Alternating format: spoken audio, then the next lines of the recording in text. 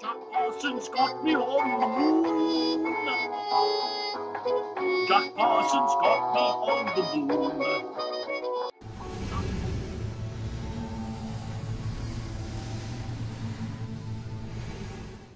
Well, hello, everybody. I hope you're all keeping well. Today is a special edition of Beyond Room 313 Occult Cinema review. And I've got Tina Kemp on here. Some of you know her from her own very good uh, YouTube channel and also the pagan broadcast she does with Fiona. Now, Tina and I have been planning to do this for a very long time but one thing led to another. Life got in the way. Mainly, Teen had to make a lovely baby boy. But we can now have found the, the time to talk about this. And the film we're going to talk about is Roman Polanski's 1999 The Ninth Gate, a film starring Johnny Depp and the fabulous Frank Langella. Now, the film has an awful lot to unpack perhaps even for me, sometimes too much to unpack. Unpack. So that's why I'm glad Teen is here because there's still elements of this film that's still well, it's typical Roman Polanski film, isn't it? There's still elements of this film that um that confuse me. Well, not confuse me, but they're, they're like open ends. And so Tina is a big aficionado of the film, and we're going to have a talk about that now. So thanks for coming along, Tina. Well, thank you for having me. My uh, pleasure. Excellent, excellent. Now, let's get straight down to business. What was your first encounter with the Ninth Gate, and how did it sit in your consciousness at the time? I was in my late teens, and we had rented a movie when videotapes were still uh, a thing. And I was with my boyfriend, and we were with a couple of friends. And there was um, a, the, an ad for it or one of those trailers before you get to the actual movie. There's always a few trailers. And i saw the trailer and i thought i have to see this movie. And i couldn't i didn't really know why. It was just this inner compulsion of i have to see this movie and when i figured out that it was playing in a cinema nearby i dragged my then boyfriend to that cinema who very reluctantly went to, went along with me and didn't really want to be there at all. And I was so enchanted with the whole movie, but I couldn't explain why. And I walked away with real confusion, and I didn't know what to make of the movie. But I w- the intrigue was still there. In fact, I was more intrigued with it after I had seen it than before I had actually seen it. And I knew there was more to this movie than met the eye. There was things in this movie that were important for a person that uh, is into spirituality and also into occultism. And I rewatch this movie every so often. And I discovered that I took something new out of it every time that I watched it. And that is why I it's one of my all-time favorite movies because I don't get tired of watching this movie. Yes, it's it's a real Pandora's box. And I watched it again last night just for this thing today. And there's even little things you, you notice that uh, that show up and so on. Uh, I won't go into it directly into the thing here, but the first thing I want to talk about is the most intriguing element of the film, and the one that everyone remembers and is most confused by. What is your take on the symbolism of the girl?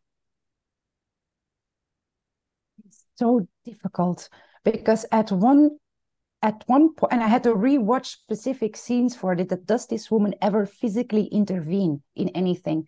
And she does only once when there is the fight on the bridge. She stops that guy, but all the other times she either stops Corso directly, or she talks to him in a way that makes him change his mind.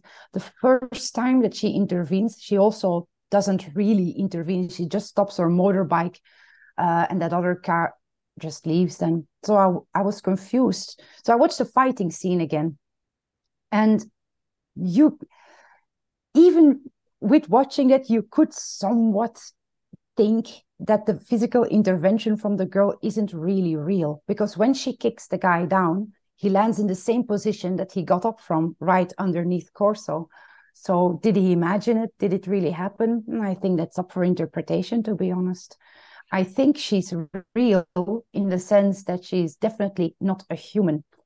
Yeah. does that make her less real?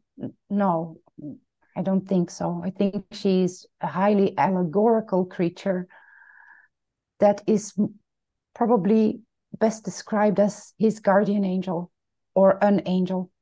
Yeah, that's how I initially thought about it too. But like everything else in the film, it's paradoxical and it throws you all over the place.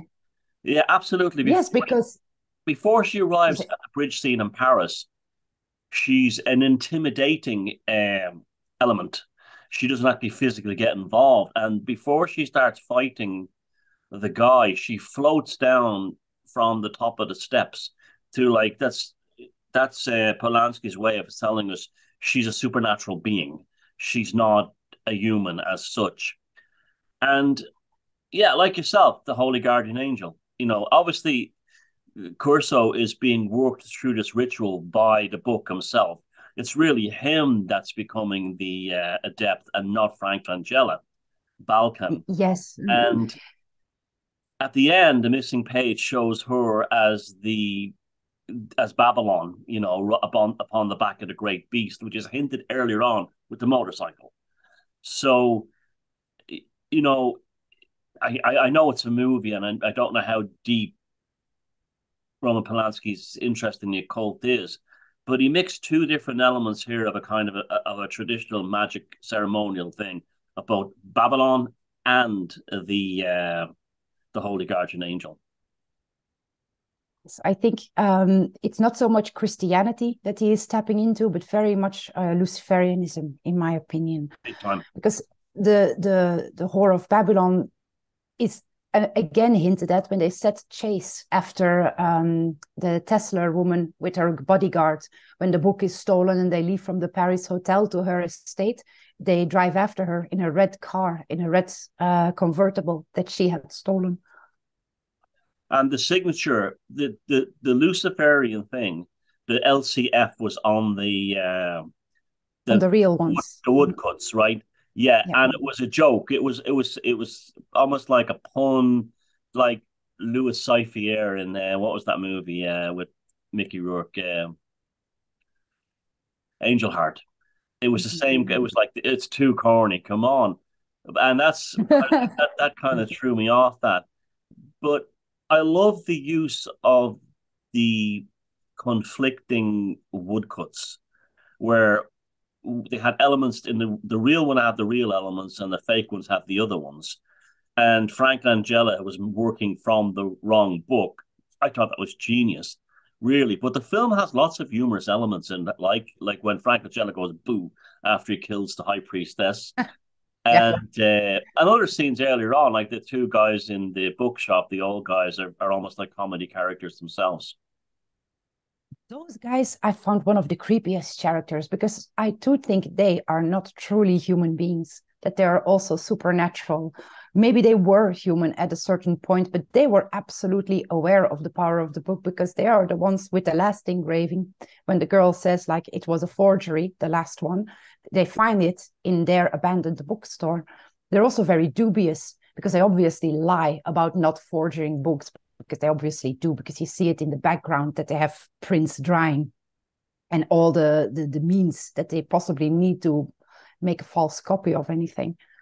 And immediately after Johnny Depp uh, Corso leaves his leaves the bookshop, a scaffolding collapses on the street, almost killing him Yeah, uh, that was obviously symbolism that whatever this thing that Johnny Depp was building was obviously fake and had no foundations.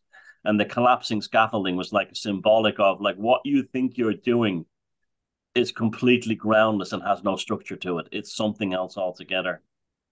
Yeah, and it is also in one of the engravings that he is looking at, one of the real ones, Danger from Above. Mm. Yeah, and there's lots of tarot-like elements in the engravings as well. There's very, there's hmm. so many elements like the you know the hanged man and all that thing. Hmm. Yeah, but I hmm. I often wonder. Now you know Roman Polanski's not a very nice man, and he's on the run basically from American authorities. That's why the films are made in Europe. Now, I often got the impression that the Balkan character was Polanski's way of saying uh, these guys are at the big top at the top in America. They're involved in all this stuff, and that's hinted and that's stated openly all through the film. that the big guys are into all this crap, you know, all this uh, this this intense occult workings. I believe that to be right.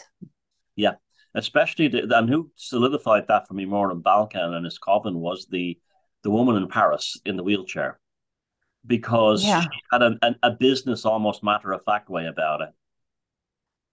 They are all after the same thing in different ways, but their motivations are completely different as well the um, the Kessler woman, the the one the German in her in her apartment, she already thinks she knows it all because she is absolutely convinced that her book is the real one, and there is no changing her mind unless the proof is right in front of her. And she specifically states in the movie that she had already seen and met the devil, and then the camera glances glances a little bit over her cut arm, and she's German, and it is around the time that she was a younger woman, that she could have been involved with Nazism. This is just uh, inference on my part here, but um, it could be that. It's or she could be actually. It's a very good inference because I've never considered until you said it. And secondly, her uh, personal assistant was like one of these women who were in the SS who worked, uh, worked the death camps. Yeah, mm-hmm. very much so. So well spotted the the other one, the Telfer woman, the which is the Saint Martin woman. Saint Martin is, uh, by the way, um, I looked up. I looked that up. Saint Martin uh, is an actual patron saint of the day of the harvest, and there is a song uh, devoted to him. November 11 is the day of my light, that my light. November 11 is the day that my light may burn. So that also is very Luciferian. And uh, you know, November 11th is like kind of a you know you get a lot of the truther community. They think all the pagan holy days are mm. satanic, but the one that really is is November 11th because in terms of the darkness stuff, because the, the number 11 represents a transformative state into other things, the final month before the darkness. And I always watch every year for November 11th 11 11 uh, to see what's going on. And you know that's that to me is you know a lot of there's a lot of nonsense about the high occult dates out there but uh, november 11th definitely is one. I'm going to pay more attention to that in the future. See all the others are all pagan feast days that the christians are all you know they're all afraid of you know like you know beltane and may day and you know Walpurgis and all this kind of thing uh, but the real one is the one they ignored. you know, this is what I find kind of funny. But uh, back to the movie, it has that beautiful Roman Polanski tonal quality. Everything is warm and soft. He, Rosemary's Baby had that look. In fact, all his films nearly all have that look. He he knows how to create atmosphere with a film, and there's a seductive quality in that. I often felt that this film Uh, you know, it doesn't really warn you against the occult because what mm. happened Johnny Depp at the end.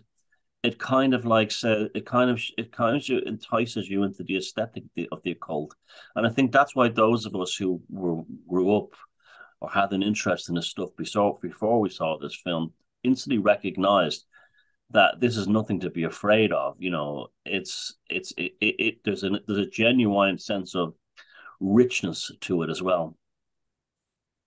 Yes, I also think that the bombastic movie would have been unpalatable for this kind of genre of movie because it does it just doesn't work. The occult isn't bombastic. It is uh, something tepid almost uh, in in in the eye of the public. I mean, it's not something that you do with a lot of bells and noises. Have you noticed the, the homage to other films in the plot? Uh, the Wicker Man. He's uh, Johnny Depp's character is very similar to Sergeant Howie. He's being led along as a kind of a patsy, as a kind of supernatural uh-huh. patsy. It's a road movie. It has other aspects in it too. It has that. It, it has that Hammer kind of film feel. Uh, it, Frank character straight out of like Dennis Wheatley, the like the Devil Rides Out and so on. As the he, he is the cartoon wealthy occult leader.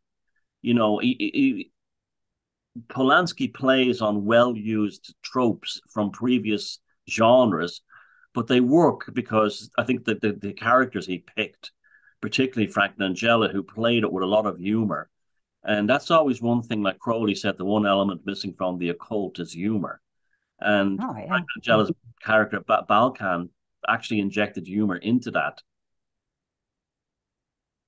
Yes, because the, the Baroness was way too stiff. If she had been the villain of the movie, it wouldn't have worked so well, in my opinion. The other one as well, the other woman, the Tef- Telfer woman, she, while she is a nice counterpart to the other uh, antagonists in the movie, I don't find her a good main antagonist, except it's a sort of helping character. She needs to be there in order to get to a certain point, but to make her the main antagonist of a movie just wouldn't have worked. It's way too simple-minded, too one-dimensional. Yes, she she she wants power, she wants esteem, she wants riches. Don't we all? I mean, that, but Balkan wants something else. He wants to transcend that and wants to ascend to godhood, and he said so in the last scene right before he died, which is very interesting because when he is dying, when he is set on fire, is the only time in the movie that we see Corso do an act of kindness by killing him.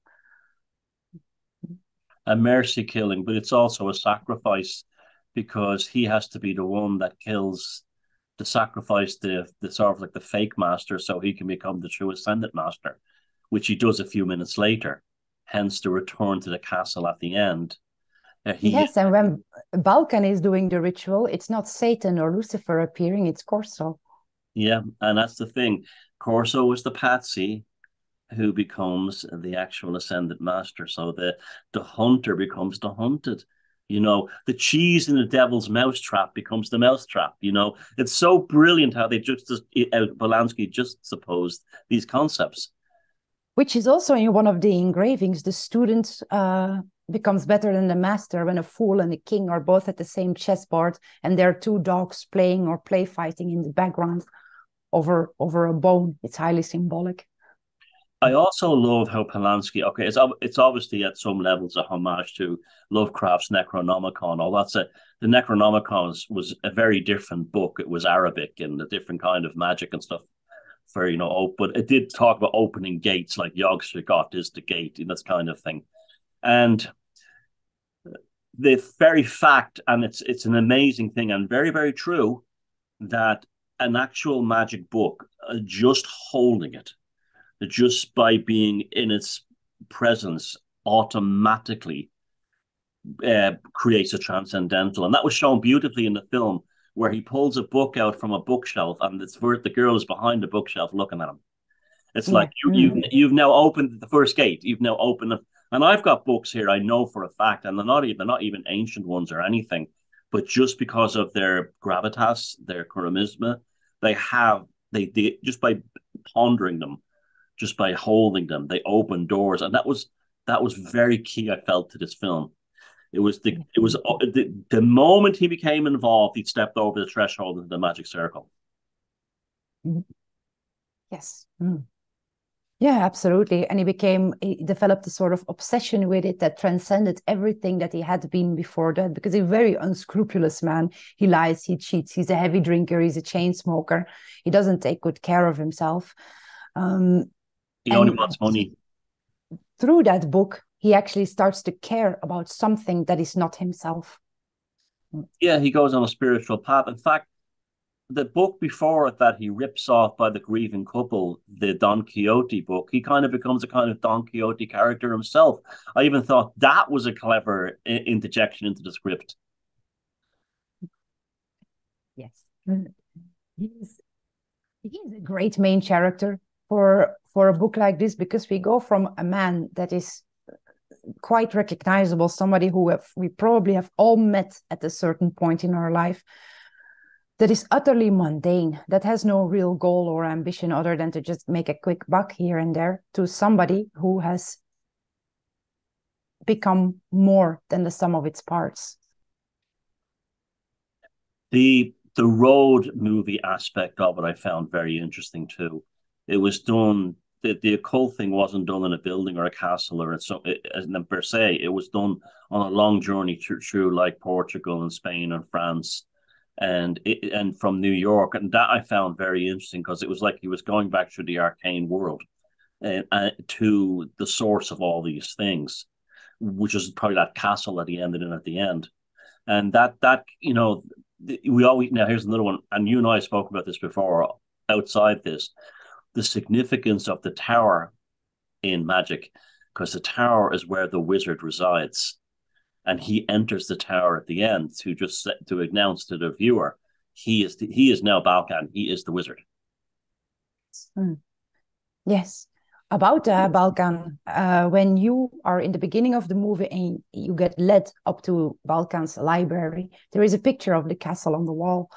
So he already knows much more than he lets on. He already knows that the book, or at least the engravings, are fake. He just has no way of getting them because they all know who he is. and he has no way of arriving without announcing himself. He needs somebody like Corso, who is very unnoticeable. Yeah. And it, it, also, the story to find the book is something of a pageant, a farce that he generates in order to put into Corso's uh, consciousness in order to achieve what Balkan wants him to achieve.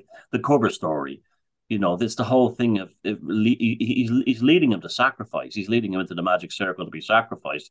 But of course, at the end, we find out because of intervention by higher spiritual forces, it switches both ways because they didn't, as despicable as. And there's the thing. There's a lot of similar. Johnny Depp character Corso wanted to be those rich bastards. You know, he wanted a piece of that world. It, by trade, but eh, trading books was his way of getting into it and so he was kind of being brought into it accidentally as a patsy, as a magical patsy. But that was an intervention by the this holy guardian angel slash Babylon woman. It was almost like to say, No, you're better than these people. As bad as you are, your soul can attain a redemption. And I found that amazing actually. Yeah, very much so, because Balkan said it uh, himself that he just wants godhood, that he wants to be on par with whatever god is out there. He wants to be a god. Yeah. And just like in every pagan myth out there, that, that is just the ultimate hubris of a human. And he kills himself because of it. He thinks he has already attained a godhood just because somebody else he paid has all these uh, engravings collected for him, and he said it before that, bef- when he's killing the, the the woman in the castle with the necklace. He says that I have attained all these engravings. I am alone. I alone am worthy of the fruit of this knowledge. But he isn't. He didn't attain any of it. It's Corso that attained all of it. Because he started from nothing. And he yes. started, he, and he it, it, it was just the classic story of the fool and the tarot deck. Really, when you think about it, he stepped into consciousness accidentally by walking off the cliff, and Corso's right at the to the very end. Lucifer was playing him along. There's this at the beginning of when he first he puts down the circle of fire at the at the start.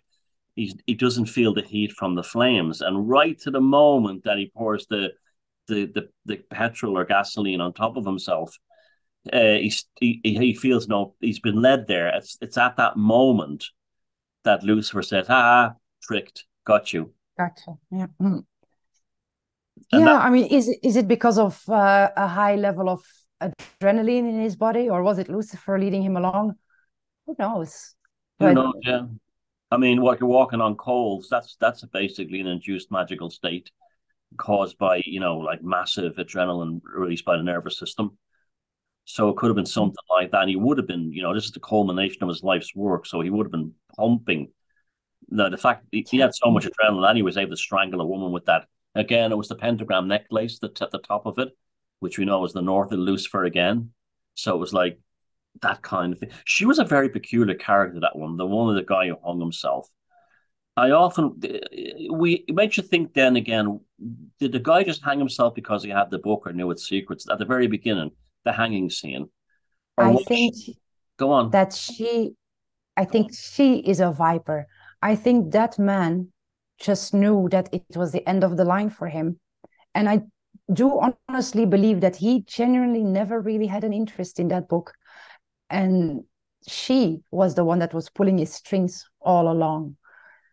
And then at some point, he just gave up in his own way because he figured out that maybe she was right all along and I have no power left. It's possible within a relationship that you hand all your personal power and agency to the other person.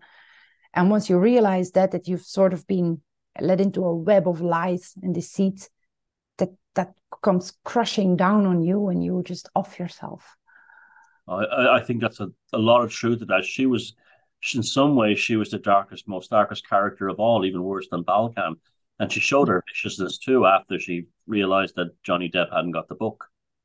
She just became mm. like a, a harridan, just a, a, monster. So I think, folks, in that this half hour or so, you got a very good punch into the ninth gate from both Tina and myself to give you something to think about. If you have any more to say about the film that we did in cover, put it in the comments below. And Tina is going to do a follow up on her channel at some point based on your additions to this or things that have developed since this moment. And therefore, uh, I'll put the link to Tina's channel below so you can subscribe there in anticipation of it. So thanks very much, Tina, for this uh, this yeah very insightful but brief. And I think I learned a lot there. And I definitely learned the the Nazi occult thing. I never even thought about that one. Brilliant. See ya. Bye.